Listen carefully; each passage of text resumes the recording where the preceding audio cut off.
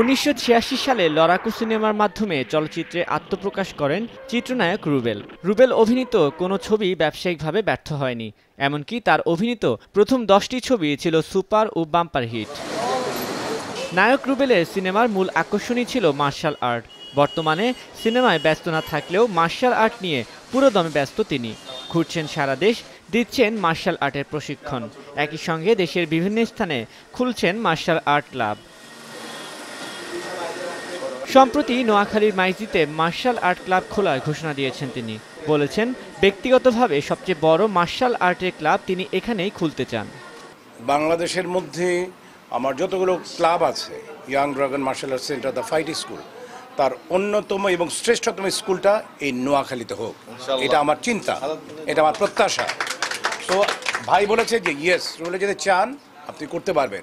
আমি দেড়শো আমি এখানে এসেছি। আমি চাই নোয়াখালীর ছেলে মেয়েদের ভিতরে আমি দেখেছি। আমি যতগুলো স্কুলে গেছি আমি একটা জিনিস দেখেছি যে ছেলেদের চেয়ে মেয়েরা বেশি এখানে ইন্টারেস্টেড কারাতে শেখার ব্যাপারে।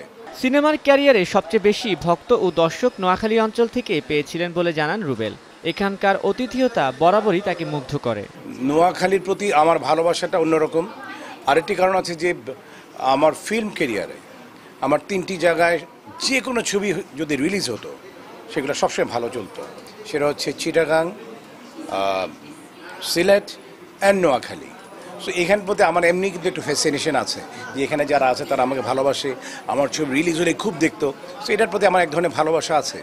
আর এখানে আসার পর সেই ভালোবাসাটা আরও দ্বিগুণ বলব না দশ গুণ বেড়ে গেছে। ক্যারিয়ারের শুরু থেকে মার্শাল আর্ট নিয়ে বেশ আগ্রহী ছিলেন চিত্রনায়ক রুবেল। তারই অংশ হিসেবে সম্প্রতি নোয়াখালীর আরডি ফিটনেস ক্লাব সফরে যান তিনি।